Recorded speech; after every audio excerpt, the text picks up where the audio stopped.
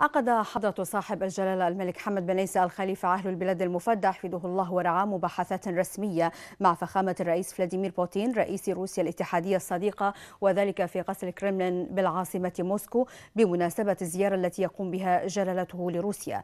في بداية اللقاء ألقى فخامة الرئيس الروسي كلمة رحب فيها بجلالة الملك المفدى وقال أتمنى أن تكون زيارتكم إلى المعرض العسكري الجيش 2016 مفيدة كما يسعدني إطلاعكم على الإمكانات الخدمات العسكرية والتقنية والفنية الروسية مؤكدا بأن هذه الزيارة مهمة لجلالة الملك إلى روسيا الاتحادية. وأضاف فخامة الرئيس بوتين بأنه شارك في اجتماع العشرين الكبار جي العشرين وتحدث مع شركاء البحرين في منطقة الخليج العربي حول كافة مجالات التعاون الثنائي المشترك مؤكدا بأن زيارة جلالة الملك لروسيا مهمة وجاءت في الوقت المناسب. ثم ألقى جلالة الملك المفدى حفظه الله كلمة أعرب فيها عن شكره وتقديره لفخامة الرئيس الروسي فلاديمير بوتين على دعوته الكريمة لزيارة روسيا وعلى حسن الاستقبال والحفاوة التي قوبل بها جلالته. وقال جلالة الملك المفدى لفخامة الرئيس بوتين أود أن أنقل لكم تحيات أهل البحرين. مضيفا جلالته لقد سعدنا اليوم بزيارة المعرض العسكري الروسي الجيش 2016 واطلعنا على المنظومات العسكرية الروسية المتطورة. كما أود أن أشكر نائب رئيس الوزراء لشؤون المجمع العسكري ووزير الدفاع على استقبالهم لنا بكل حفاوة وترحيب.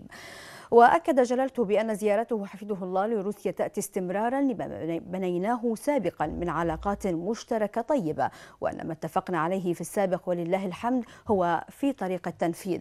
معربا جلالته عن تقديره واعتزازه الكبيرين لفخامة الرئيس وحكومته في المنطقة. واستعرض الجانبان العلاقات الثنائية وسبل تنميتها ودعمها في المجالات كافة في ظل روابط الصداقة المتميزة والتعاون المتنامي بين الجانبين. وأكد العاهل المفدى اهتمام مملكة البحرين بتطور علاقاتها مع روسيا الاتحادية في كافة المجالات بالشكل الذي يحقق تطلعات البلدين والشعبين ومصالحهما المشتركة.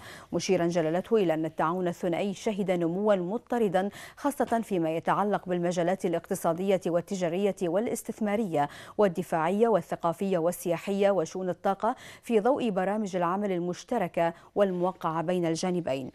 وبحث جلالة العاهل المفدى والرئيس الروسي الأحداث المستجدة على الصعيدين الإقليمي والدولي والتطورات التطورات التي تشهدها منطقة الشرق الأوسط.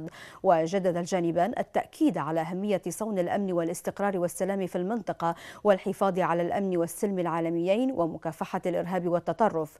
وأشاد جلالته بما شاهده في المعرض من عروض عسكرية حديثة.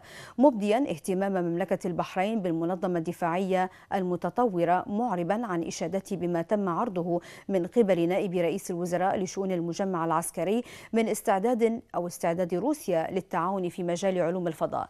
ووصف جلالة الملك المفدى محادثاته مع الرئيس الروسي بأنها بناءة ومفيدة وستنعكس آثارها إيجابيا على صعيد توثيق علاقات البلدين الصديقين مشيرا إلى أن اللقاء كان في كان فرصة طيبة لتبادل وجهات النظر بشأن العديد من القضايا الإقليمية والدولية ذات الاهتمام المشترك.